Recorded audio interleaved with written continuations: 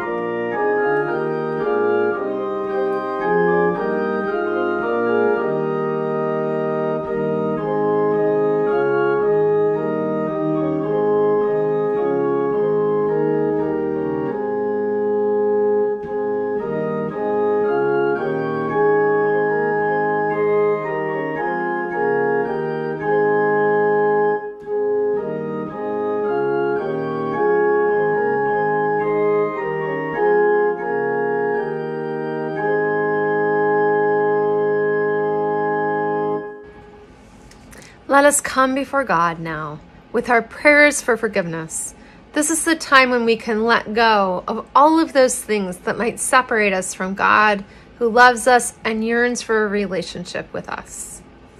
Loving and gracious God, give us sincerity, we beseech thee, O God, saving us from the ancient sin of casting palm branches before you at the week's beginning and crucifying you before the week's end.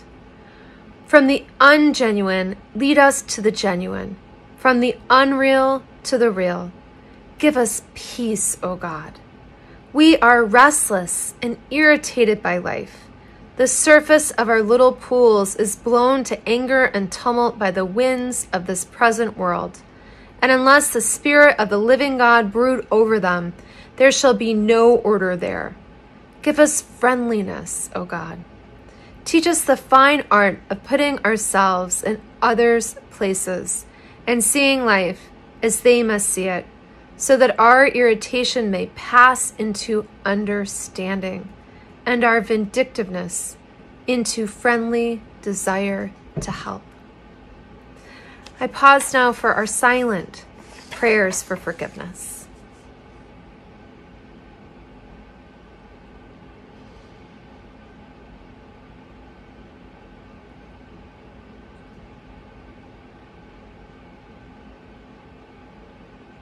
Friends in Christ, be assured knowing that God came into the world through Christ so that our sins would be as far from us as the east is from the west.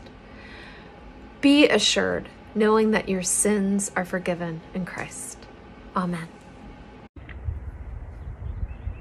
Hello. I wanted to come out here for the children's sermon today. Um, I was feeling a little bit sad about not having palms for everyone. Um, and then I remembered something really cool. And that is when everyone was really, really, really excited that Jesus was coming into Jerusalem. What they did is they were so excited that they just cut down branches from the trees that were around them. They just grabbed what they had and they used them to line the streets so that when Jesus came into Jerusalem, he would come in knowing that they loved him. So every year on Palm Sunday, one of my traditions is to make a palm cross. And I thought I would make one out of stuff that I found around my yard. Um, so what this is, is it's a piece of a leaf from one of the flowers that's coming up. Um, but also if you had something like this, which is a leaf from last year, that would work too, or even a stick. So again, what you wanna do is you want to fold about, about a quarter of the way from the end and then turn your stick over. And this is the tricky part. You wanna do a little fold that is a 90 degree fold so that it already starts to look like half a cross, see? And then you just fold that piece over until it looks just like the arms of a cross. And then this part tucks in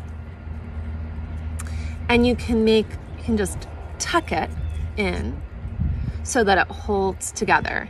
In some way, the palm crosses are even easier with a branch from your yard or a flower stem. Um, I also wanted to make sure that everyone had seen this um, what we're going to be doing um, all this week, starting today, is we're asking people to print these out and decorate them and make them really wonderful and beautiful. And then you're going to put these on the outside of your house or in a window so that people can see it from the outside of their house.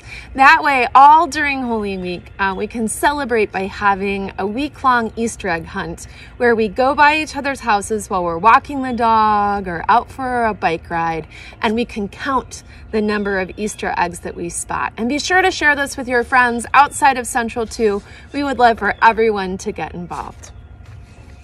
So, um, children, as we're apart this Sunday on this very special day, I hope that you and your family are celebrating with an egg hunt of your own. I hope that you've put on something really wonderful and springy and that you notice all the beautiful flowers that are outgrowing in your yard. But on top of all of that, I hope that you remember that Jesus came to Jerusalem because Jesus loves you so much. Jesus loves you and Jesus loves me. And that means that we are never separated from God, even during COVID 19. Let's pray. Loving and gracious God, please help us to remember that we are always together, even when we're separated to keep each other safe, that we are always with you. Please remind us of the ways that we're connected today. Help us to be kind to the people that we live with and to remember people who might need a friend. Help us to reach out by phone or text or Zoom or email or Facebook and to feel connected to our friends, to our family, and to our neighbors. We pray this in your holy name. Amen. Okay, guys, thanks for coming out to my yard. Um, I hope to see you in church really soon. Oh, and please remember, we are still having our um, Lord's Prayer and 23rd Psalm challenge. And that means I would love for you to memorize either or both of those, Lord's Prayer and 23rd Psalm. And if you run up to me when we're back together and you recite them, I will have a basket of prizes and you can choose one for each one that you remember. And actually, if you get them both, I might even throw in a third prize. Okay, everybody, be well and um, know that we love you very much, that we're praying for you, and that. Um, and that we can't wait to be back together. And if you would like a private tutorial on making one of these beautiful crosses for your home, um, feel free to give me an email and I can jump on Zoom and teach you. Have a great day. Bye bye. This morning, I would like to share the peace of Christ with you. And so, first of all, I hope that you can feel that peace that passes understanding, that peace that reaches beyond our pandemic and beyond our worries and beyond our fears and fills us with Christ's love, because that is a gift from God. And so, first of all, I ask and hope and pray for that peace to come into your heart. And next, I ask you to please go ahead and um, just think about someone that you haven't reached out to for a little while. Pick up your phone and look at your contact list or grab a, a church directory um, and find someone that you haven't reached out to for a little while. And I hope that during this time of peace that you can commit yourself to reaching out to one or two or even three people um, and to just share a friendly word with them. Let them know that you're thinking of them. Um, and I hope that you'll use this as a time to connect. The peace of Christ be with you and also with you. Amen.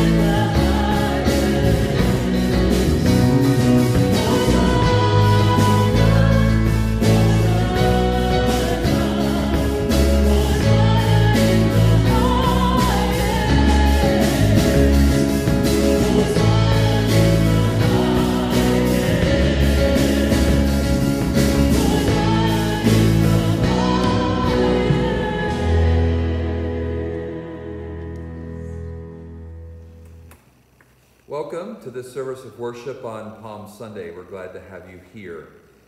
Uh, of course, uh, we know that you're not here with us in the sanctuary.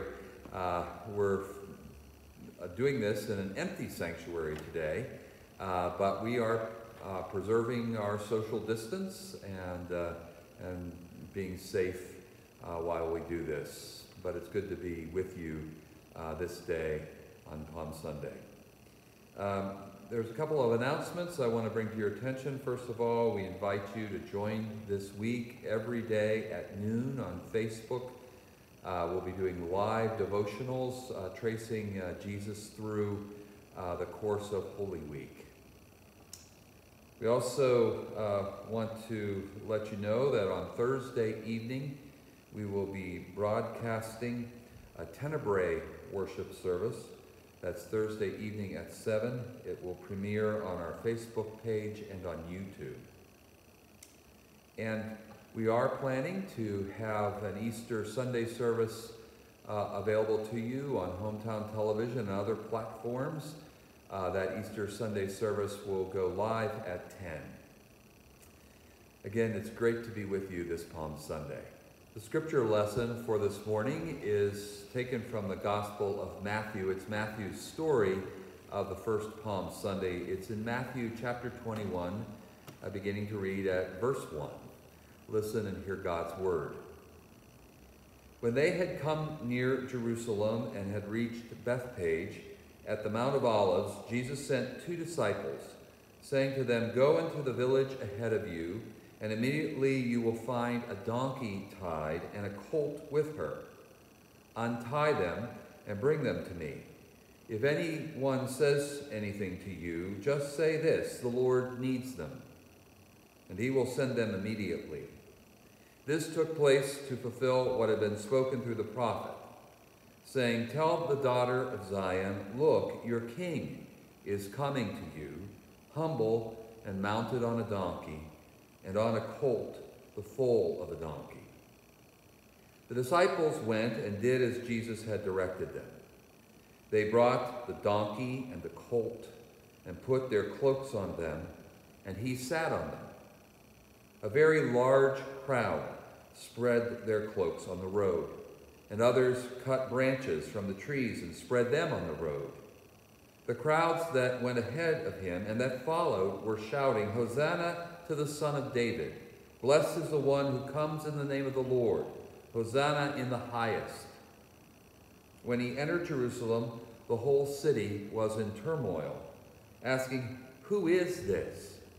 The crowds were saying, This is the prophet Jesus from Nazareth in Galilee. May God bless to our understanding this reading of God's holy word, and to God's name be glory and praise. Amen. Well, this certainly isn't our usual Palm Sunday. I'm looking out at this sanctuary here at Central Presbyterian Church in Summit, and the pews are empty. There are no kids that have been coming down the aisles with their palm fronds, waving them, or using them as swords. There's no Palm Sunday brunch, no Easter egg hunts, and the music that we so much love on this day is a little bit hollow sounding. This is not our usual Palm Sunday, and this will not be our usual Holy Week, our usual Easter. Everything is different. And yet, maybe this is an opportunity. Maybe this is an opportunity to look at the stories of Holy Week with a whole new understanding and to see them in a whole new way. I mean, I remember the first time I heard Eric Clapton's acoustic version of his rock anthem, Layla. It was like hearing a completely new song. This year, maybe it will be like Palm Sunday and Holy Week and Easter have been unplugged. And without all the distractions of the holidays, as wonderful as those distractions are, maybe the stories will sound completely new to us. For instance, this Palm Sunday story in Matthew's Gospel, it starts with that odd detail that's unique to Matthew about Jesus riding on a donkey and a colt at the same time, which creates the weirdest picture in my mind, trying to imagine how Jesus pulled that off. But the rest of the story is there in all its familiar details. There's a large crowd, there are palm branches, there are the shouts of Hosanna. In the end of the story, at the very end of the story, there is another odd detail in Matthew's telling of it. Matthew tells us that when Jesus entered Jerusalem, the whole city was in turmoil, asking, Who is this?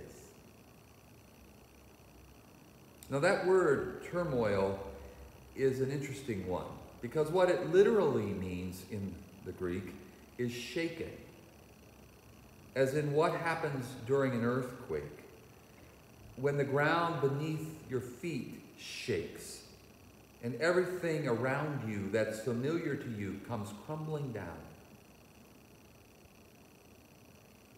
That story, with that detail, seems in some ways to be worlds apart from the sweet experience of, of having kids coming down the center aisle and waving palm branches. It seems Matthew wants us to understand that beginning on Palm Sunday, he is telling the story of some serious stuff that happened. Stuff that happened that was life altering and world changing. And it seems to me that's the kind of stuff we need to hear now.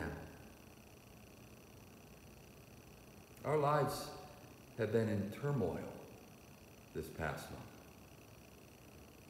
As that pandemic has grown and spread all around the world. Our world has been shaken to its core. We've learned to do things in a new way. School, jobs, church. And in some ways, it's hard to imagine things going back simply to how they used to be you know, sitting in a crowded restaurant or theater, or trying to get on that already jammed subway or bus. Now, to be clear, I am not saying that Jesus, God, caused this turmoil. Indeed, when I hear people make statements like that, I'm kind of left thinking, that sounds to me an awful lot like crazy talk. Coming from folks who probably have never really understood what the Bible was about in the first place.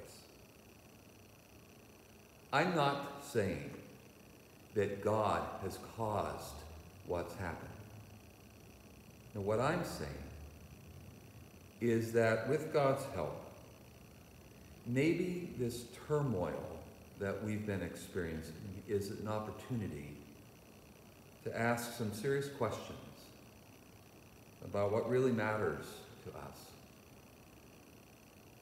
I mean, as you've been going through all of this, have you wondered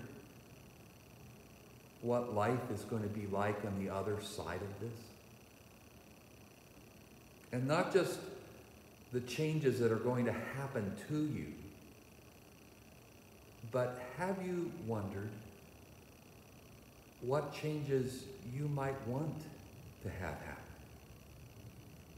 What changes you might want to make in your life? How you might want to reorder some of your priorities? What really matters to you? And what really is it that brings you a sense of fulfillment and joy and peace. You know, I wonder if maybe that's the good that God wants to bring out of all of this. I wonder if maybe what God is prompting in the midst of this turmoil is for you and me to ask ourselves some really important questions. Knowing that whatever it is that begins in turmoil will end, we hope, we have faith, in something like resurrection, in something like new life. In the name of the Father, and the Son, and the Holy Spirit. Let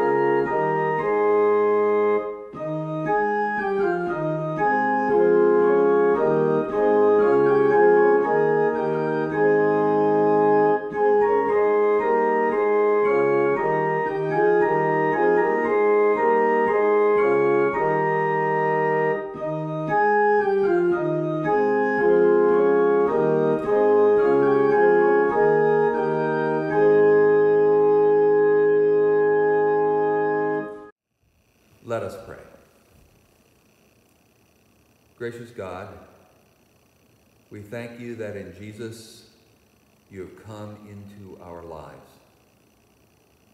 You have come into the turmoil of our lives, into this very time when it seems that the very earth under our feet is shaking, and we are left wondering what will be left on the other side. Gracious God, we ask that you would give us the grace and the strength to ask the questions that we must ask of ourselves and to build the life that we want to build for ourselves. We pray for all of those in positions of authority we ask that you would give them wisdom, that you would guide them to do the right thing, the good thing. We lift up before you all of those who continue to work to keep things moving and working for all of us. The truckers and the store clerks, the postal workers, Gracious God, we especially lift before you healthcare workers who are on the front lines and who risk their lives to help people who are sick. And we pray for those who are sick. We pray for those who are dying. And we pray for those who now must walk the pathway of grief. In ways that are hard to grasp. Help us to find ways to communicate to all of those who suffer that they are not alone. That not only are you with them, but so are we. Holy God, we pray for your grace. We pray for your mercy.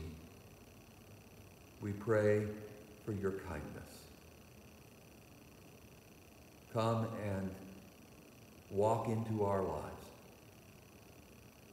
lead us through this week, through the turmoil and the uncertainty, and bring us to a place where you will make all things new through Christ, in whose name we pray as we were taught, Our Father, who art in heaven, hallowed be thy name.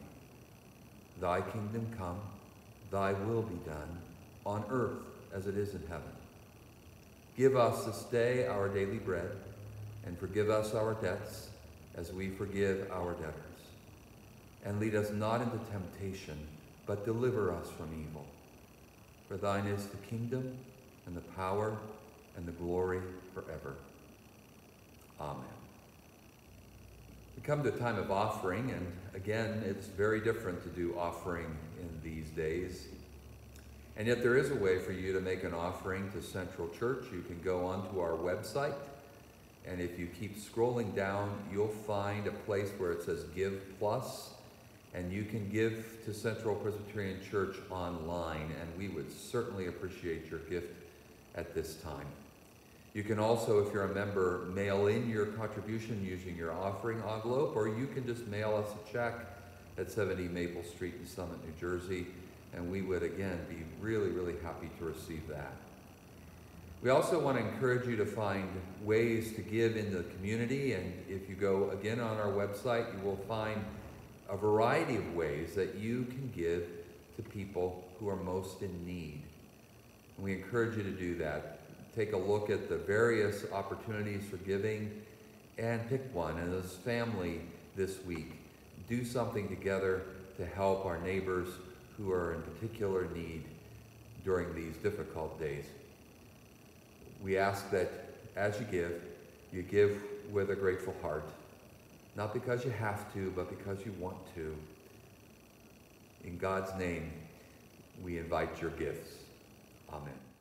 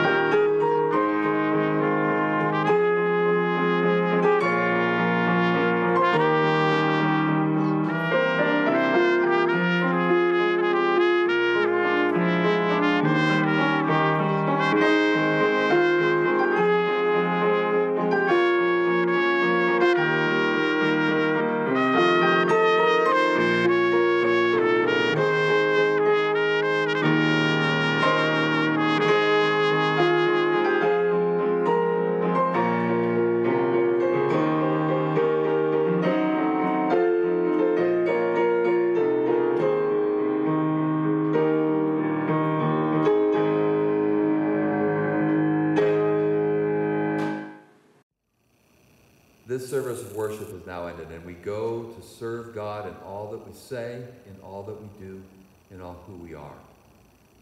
None of us knows what we will face this week. For some, there will be great joy and triumph, and for others, there will be sadness and defeat. But whatever it is that we face this week, we do not face it alone, but we face it all in the strength and the power of the Almighty God, who is always near. And now may the grace of our Lord Jesus Christ, the love of God, and the fellowship of the Holy Spirit be with you and stay with you now and forever.